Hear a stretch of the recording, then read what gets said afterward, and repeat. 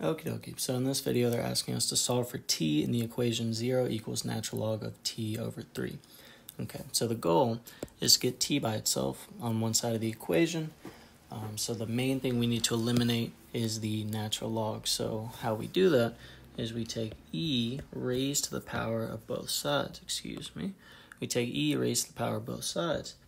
And what this does is whenever you have e to the natural log of x, what you get is x. So e to the ln of 2, for example, would just equal 2. And so here, when we have e to the 0 on the left side, we'll leave it as that for now. Um, then we have e to the ln of t over 3 will leave us with just t over 3 because e and ln cancel each other out.